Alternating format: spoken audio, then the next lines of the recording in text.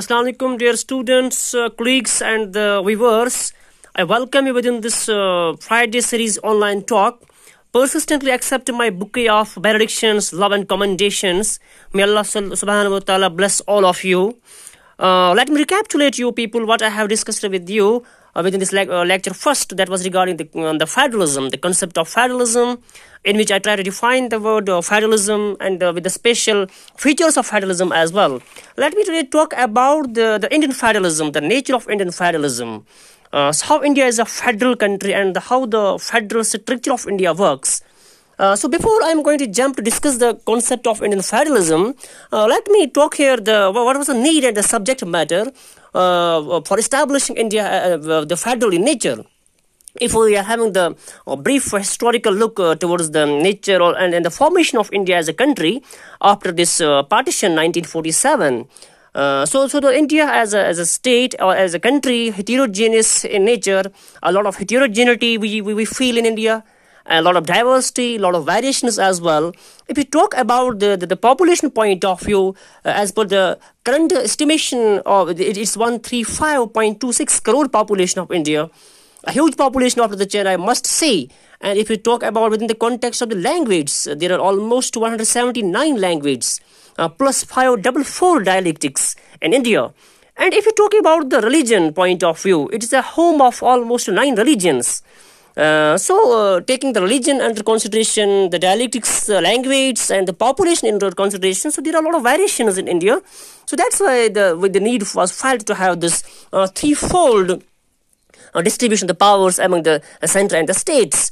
Uh, so, dear students, let me talk here one by one. The moment there was a need to divide the power between the center and the states, what we simply call the federalism, as this, this um, the pictorial view on the screen also reflects that there is some sort of cooperation uh, where, where the uh, powers uh, uh, are joined. There, people are joining hands. The governments are joining hands to run the country smoothly. Here on the screen, so there is a threefold distribution of the powers among the center and the states. The first of these three lists has been uh, categorized by the Constitution of India constitutionally as well. Uh, so the first comes the union list. Uh, that that's the union list here. Uh, so union list means uh, all those powers uh, which are which, which, lie, which lie within the ambit of the uh, central government and uh, they can make the central government can make the law and those very laws will be implemented through over the whole country plus the union territories and the, the states of India as well. The, the, the number of the laws are there 100 items in nature. So on 100 items the union government can make the law.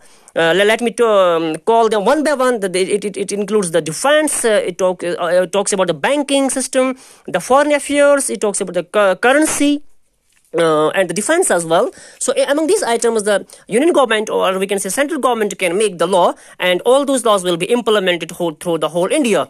Then comes the the state list. Within the state list, there are 61 items, uh, at least 61 items, and within the 61 items, the state government is supreme and the paramount uh, separately to make the laws alone. Uh, so these includes the, the, the police sector, trade and commerce, agriculture, and irrigation. So these there we can say witness the demarcation line where the union government separately makes the law within the ambit and the state government separately makes the law within their own ambit. Uh, so there is no mingling, there is no there, there is no cross mingling between the powers. Uh, after that, uh, we can see uh, the, the next one that we simply call the concurrent list. That's called the concurrent list. Now, when it comes to this concurrent list, the last one, the concurrent list, where we can see it includes all those subjects, it includes all those subjects of the common interests of both uh, the, the, the, union government as well as the state government. So, in here, in the concurrent list, both the central government and, and the state government interests prevails and they can make the law. Let us see in which spheres they can make the law, in which jurisdiction they can make the law.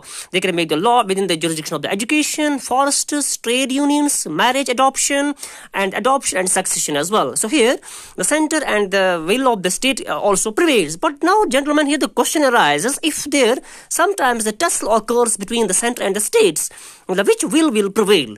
Uh, for example, let me uh, let me tell you, if the, the law is made on the education system uh, by the union government, but it, it, it, it has it is having the, it has it is having a clash with the cent- state government.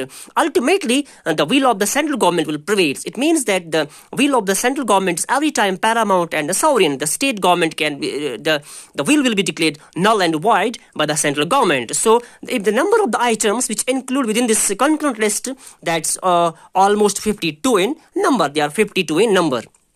So now the question comes, all these uh, things uh, lie the moment the Constitution of India was framing. Is any law after the framing of the constitution came into existence, uh, which did which did not lie within, the, within both the ambits of state, center, and the and, and the concurrent lists. For example, if you talk about example of the computer softwareing, certain laws of the cyber laws, uh, because at the particular moment of uh, the framing of the constitution in 1950, uh, the, the concept was not uh, the software uh, concept was not available. So here, the the central government is enjoying all those discretionary powers to frame the law within that very sphere. Uh, the state government is bound to accept all those laws. So somewhere that those discretionary powers are enjoyed by the central government, where uh, the, hand of the central government is up, upper in nature. Uh, so dear students, uh, when you talk about the states uh, which are 29 in number and you talk about the small uh, part of the land of india uh, that, that's all also sovereign like we talk about chandigarh we talk about lakshadweep you talk about the capital city of delhi which are the union uh, we, we call them the union territories uts and jammu and kashmir present as well uh, so, so what happens to them? Definitely, these there is no state government. Uh, they, they, they directly come into the existence. They directly come into the umbrella and ambit of the central government, and the laws of the central government prevails there wholly and solely. But this to, to analyze and to, to observe the center-state relations, how center and state state relation is balanced. Uh, persistently, the government of India they they are framing the, the, the commissions. Which you let's have a look on the screen. There's a one I'm going to talk here about the one commission that's called the Sarkaria Commission. This commission was established by, by the government of India in June 1983 under the uh, under the person namely Justice R. S. Sarkaria. So there was a man namely Justice R. S. Sarkaria.